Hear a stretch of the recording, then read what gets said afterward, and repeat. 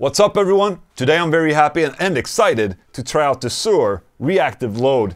It's a load box basically, so you can hook up your amplifier to it and record the signal of the amplifier into your audio interface and use uh, Impulse or whatever you want to use. So uh, yeah, this big piece of really nice box.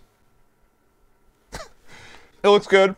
It's uh, it's kind of kind of big, I guess. I bought this to be able to compare it to the two notes reload reamp box that I have. There's a difference between these two. This is a strict load box. This is a reamp and a load box. So I'm using this. This is basically like the center hub for a lot of the stuff that I'm using when I'm doing reamps and stuff like that. I send my signals through here and from this to the amplifier and back etc. So it's a really awesome piece of equipment in that sense when I need to reamp.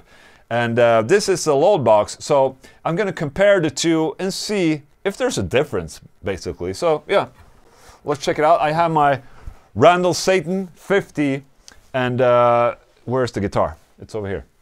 It's over here. Guys, it's over here. Oh, that's a guitar stand that fell to the floor. I'm using this Solar A2.6 Trans Red uh, with a beautiful swamp ash. Can you see that? Look at that. Look at it go. Where are you going? Is there sound?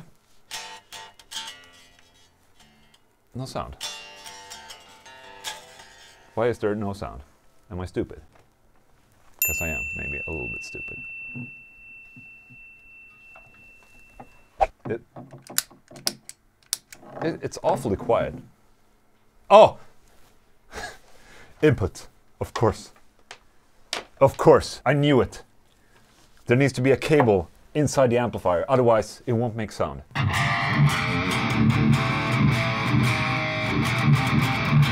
So right now what you're hearing is uh, an impulse that I loaded in to the my UAD Apollo 8 interface just to get, you know, so I don't have to listen to the sound without an IR. The, the same sound without an IR or an impulse response sounds like this. That's the raw sound of the amplifier without a cabinet being used. So it's kind of unpleasant to listen to. So that's why I have an IR here. And it's uh, the power amp of an Engl Savage in plug-in form, okay?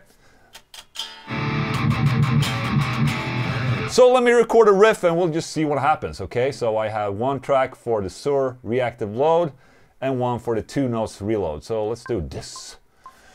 No click, please.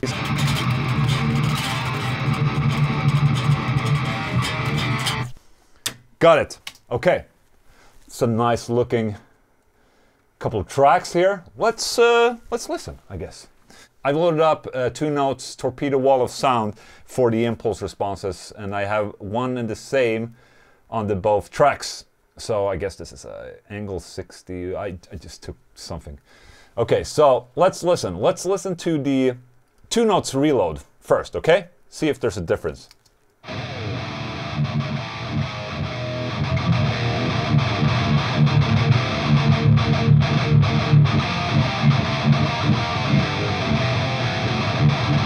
And now the Suhr active reload.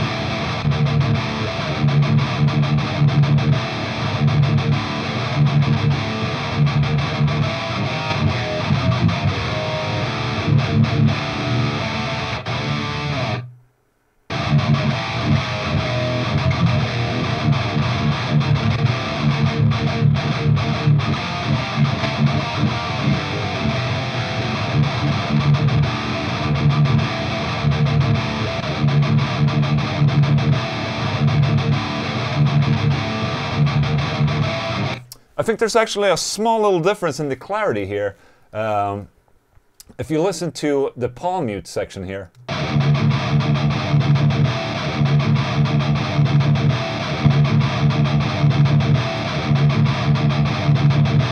There's something with the sound. There's a little bit more bass in the two notes reload.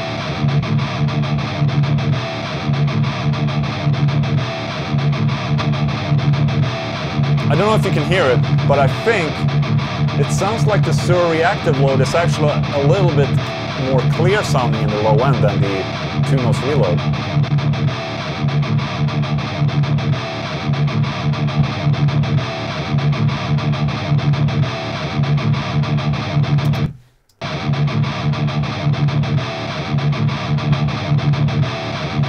There's definitely a difference between the two, so let me check that out. Let's add a match EQ and see if there's a difference to this little section here. So let's loop the full clip and we'll just see if EQ-wise there is a difference between the two. So let's let's use the uh, two notes reload as a reference, okay?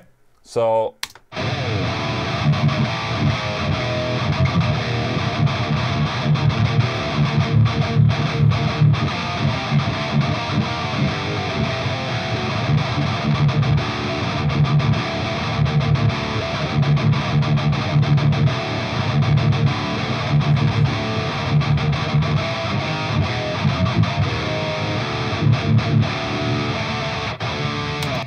now we'll listen to the Suhr Reactive Reload and uh, we'll see how they differ.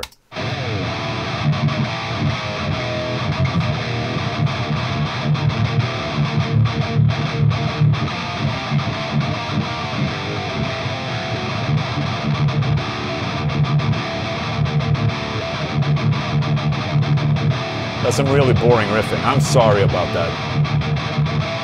Uninspired. Okay, and now let's match. Ooh, okay. As you can see here, they're pretty much the same, to be honest.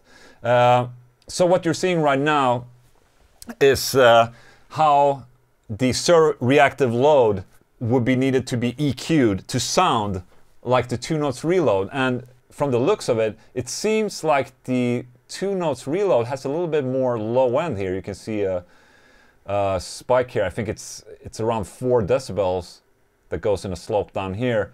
And then it's basically the same. There isn't really that much difference, but I can definitely hear that the um, there's a little bit more clarity to the Suhr reactive load.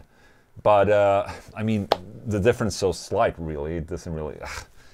I'm not too sure about the pricings of the reload and the reactive load, but uh, yeah, I mean, the reload is awesome because you have the reamping uh, option as well, where it sends the right type of impedance to the amplifier. So you have that function there. You, you know, you have the attenuator as well and the contour knob and you know a little bit more features to it while this is really like a it's a load box and that's it basically i think i like the clarity of this one a little bit more but feature wise i like the torpedo reload i think it's going to stay in my uh, setup for sure. Now yeah. This is a boring video. What should i do to make it more interesting? Huh. Okay.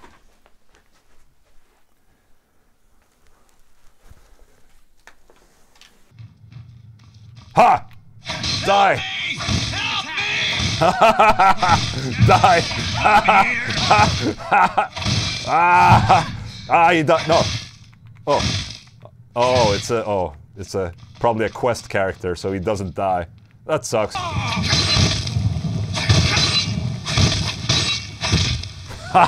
oh, too bad he doesn't die. Yeah. Yeah, Skyrim's kind of good on Switch, I guess. Okay. What else can you reamp?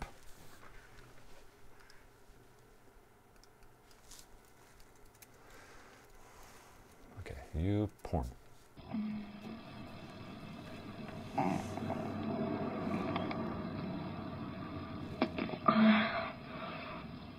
I don't know if you can hear the difference between the different load boxes in this sense, but I mean, it's, yeah. The reload might be a little bit bassier in this case, so yeah. I wonder how many subscribers I'm losing right now. There goes one. All right. Thank you so much for watching, guys. This has been a great video. Uh, if you liked it, subscribe to my channel, and uh, see you next time, buddy.